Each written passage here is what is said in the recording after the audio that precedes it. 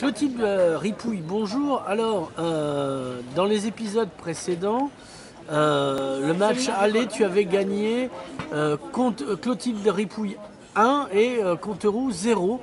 Et il y a eu le match retour et bon, ben, c'est confirmé. Conteroux ne sera pas un nouveau centre commercial entouré de centres commerciaux pour achever à coup de talon le centre-ville moribond. Oui, donc les promoteurs qui ont lancé ce projet euh, Conteroux ont donc fait euh, appel devant la Commission nationale d'aménagement commercial. Mhm. Ils avaient perdu, donc le projet avait été rejeté précédemment, comme tu l'as si bien dit, au niveau de la CDAC, commission départementale. Donc euh, en CNAC euh, jeudi dernier, nous avons demandé donc euh, les trois associations euh, Perpignan Équilibre que je préside et deux associations de commerçants à être auditionnées pour expliquer les raisons pour lesquelles nous étions euh, défavorables à ce projet.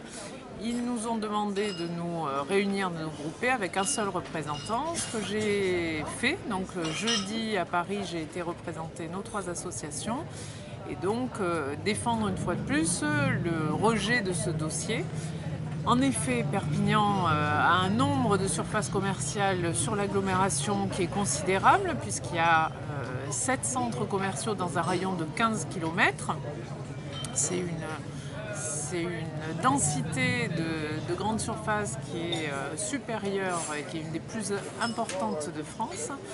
Et donc, euh, il nous semblait, pour différentes raisons, que euh, ce énième centre ne pouvait pas voir le jour. Donc, ça a été rejeté. Et effectivement, ce qu'il faut maintenant, c'est essayer de mettre en place une véritable politique pour ce cœur de ville qui souffre énormément. Alors, euh, j'ai vu dans des commentaires sur les réseaux sociaux que, en fait, grâce à toi, il y avait des emplois en moins. Est-ce que tu n'as pas honte? Alors non, j'ai pas honte parce que c'est une information absolument fausse. Euh, des études ont été faites au niveau des CCI et euh, des pouvoirs économiques et, elles ont démontré qu'un emploi créé dans une surface commerciale extérieure détruisait trois emplois en cœur de ville et dans la ville en général. Donc le rapport, il est clairement défavorable. Euh, un autre argument qu'on peut avancer, c'est que si le développement de ces grandes surfaces favorisait l'emploi, nous ne serions pas le département avec le taux de chômage le plus important de France. Visiblement, ce n'est pas cette politique qui permet de développer l'emploi et donc il faut en changer. Euh, Est-ce que tu as quelque chose contre les parkings? Parce que finalement, euh, ce, ce type de surface crée des parkings où on peut garer des voitures. J'ai rien contre les parkings et c'est bien parce qu'il y a un problème de stationnement aussi que le centre-ville ne fonctionne pas. Donc il faudrait repenser le stationnement en centre-ville. Aujourd'hui, les transports en commun ne sont pas suffisamment efficaces pour permettre d'acheminer correctement les gens en cœur de ville. Euh, les parkings relais euh, sont complètement vides et ne fonctionnent pas, il n'y a pas de navette. Et donc euh, le coût du stationnement, effectivement, empêche les gens de venir faire leurs courses en centre-ville. Donc j'ai rien contre les parkings et je pense qu'il faudrait repenser le stationnement en cœur de ville. Alors justement, euh, il y a le magazine d'étudiants qui classait l'université de Perpignan dans les dernières euh, récemment, malgré euh, le dynamisme de son président, M. Lorente, et notamment en raison, alors il y avait deux raisons, il y avait la culture et le transport. Euh, pourquoi c'est la faute de l'université? Alors c'est une question qu'on avait eu l'occasion d'évoquer pendant la campagne 2014, hein, quand on avait débattu euh, à l'université, Oui, à l'invitation hein, du, que- du président. C'était intéressant. Ce qui est clair, c'est que le réseau de transport en commun, on y revient, euh, est très insuffisant. Les modes de transport doux, les transports en commun, les pistes cyclables, tout ce qui est euh, réseau, je dirais, euh, à des coûts abordables sont, sont pas bien construits. Dernièrement, la CTPM a du reste augmenté de façon importante, plus 30%, le coût de l'abonnement pour les étudiants. hein, et donc ça, c'est particulièrement honteux. Surtout pour un réseau qui ne s'est pas amélioré, qui fonctionne pas suffisamment tard le soir, avec un manque de régularité et pas suffisamment le week-end, puisque le dimanche, il y a un certain nombre de lignes qui ne fonctionnent pas. Donc ça, c'est le premier point. Dans le domaine culturel, il n'y a pas une politique culturelle, euh, notamment gratuite, à destination des étudiants, qui puisse leur permettre d'avoir un accès facilité à la culture. Est-ce que c'est pas plutôt parce que les étudiants n'en ont rien à foutre, tout simplement? Ah, je pense que le classement de l'étudiant montre bien que c'est euh, euh, que c'est un argument pour avoir une vie étudiante réussie. Mhm. Et ici à Perpignan, ben, finalement, les étudiants n'ont pas suffisamment d'opportunités pour euh, avoir une, euh, une vie culturelle euh, animée, développée dans tous les domaines.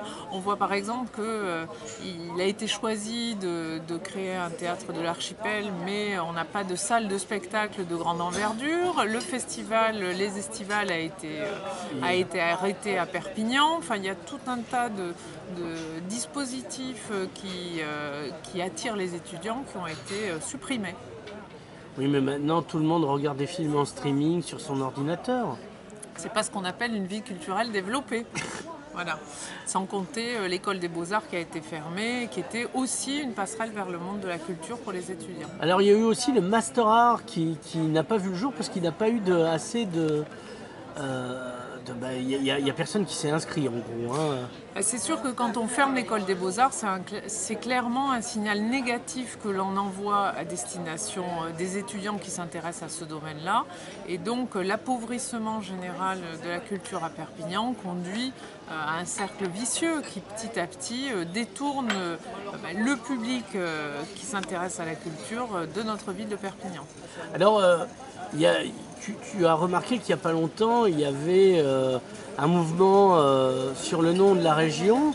euh, et toi qui es si dynamique, on ne t'y a pas vu. Est-ce que tu n'en as rien à foutre Ou c'est pour ne plus avoir à revoir Jordi Vera que tu fréquentais du temps où tu étais au CDC toi aussi?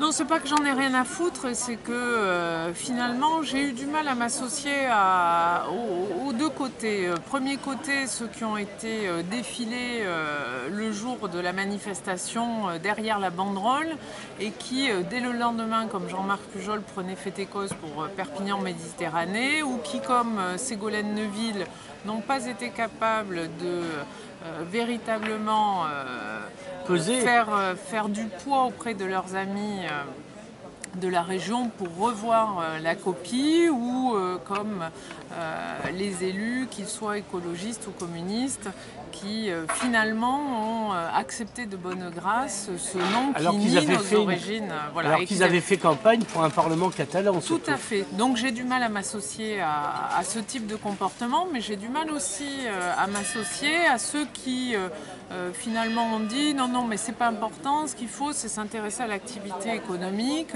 comme euh, je l'ai vu euh, de, de Romain Gros notamment, Four- et qui Monsieur Fourcade de la CCI aussi. voilà tout un tas de personnes euh, qui se réclament du monde économique et qui, dans le même temps, par exemple, ont été voter une taxe supplémentaire sur les entreprises à l'agglomération de Perpignan.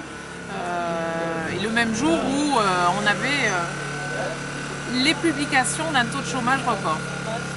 Alors, re- reste, reste les, gens de CDC qui se refont une jeunesse avec Oui au pays catalan. Donc, on retrouve Jordi Vera, Annabelle Brunet, euh, des gens qui apparemment n'ont pas fait grand-chose pour le pays euh, quand ils étaient aux, manettes du pouvoir. Je ne parle pas de M. Vera, mais d'Anna- d'Annabelle Brunet.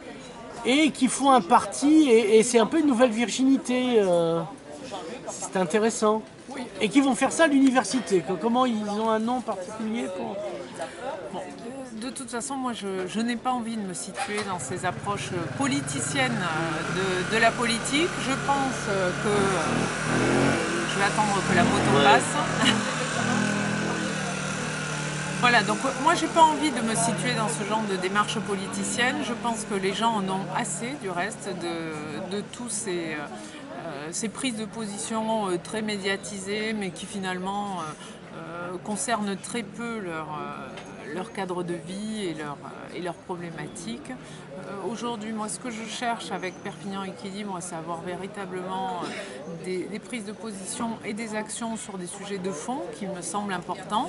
C'est ce que l'on a fait au mois de septembre, d'une part euh, en aidant les parents de l'école des Platanes à se mobiliser et en les soutenant dans leur démarche contre la fermeture d'une classe. Ça, c'est un sujet qui me paraît beaucoup plus important. C'est le problème de la mixité sociale dans les écoles de Perpignan. C'est la problématique de l'éducation, de la nécessité à mettre le paquet sur l'éducation à Perpignan pour lutter contre euh, les, problèmes sociaux et puis les problèmes d'emploi qui vont se poser par ailleurs. Donc ça, c'est un sujet qui nous a intéressés. Deuxième sujet qui nous a intéressés, qu'on a évoqué tout à l'heure, c'est euh, la problématique de ce développement commercial et d'urbanisation commerciale. Et donc, euh, de se mobiliser sur des combats comme ça, voilà, c'est intéressant. On obtient des résultats, puisque sur la CNAC, bien qu'un certain nombre nous donnent perdants parce que c'était le combat du, pot de terre contre le pot de fer. Ça, c'est ce qu'ils souhaitaient, c'est encore. Voilà, mais nous avons, par notre engagement et notre mobilisation, réussi à emporter l'adhésion sur ce sujet et donc ce projet a été euh, refusé. Sur l'école des platanes, c'est un combat de plus longue haleine, mais nous allons le poursuivre aux côtés des parents. Mais ça, ce sont des sujets qui véritablement nous intéressent parce qu'ils sont dans la vie quotidienne des Perpignanais. Et, je pense que pour le reste, on est dans une politique politicienne avec les uns qui font des effets d'annonce contre les autres. Et ça, c'est détestable et ça écarte les gens de la politique. En gros, euh, ce que tu me dis, c'est qu'il n'y a pas d'amour, il n'y a que des actes d'amour. Tout à fait. Et je pense qu'on peut comme ça distinguer les gens qui aiment véritablement euh, Perpignan, son agglomération, son département et se battent pour cette ville, de ceux qui cherchent juste à en faire un territoire de, partage de pouvoir politique. Et ça, ça ne m'intéresse pas. Je veux dire, les problèmes des Perpignanais, ce n'est pas un concept, c'est une réalité. Oui, malheureusement, c'est une réalité qui est très tangible, qui se traduit dans des chiffres, dans des réalités sociales.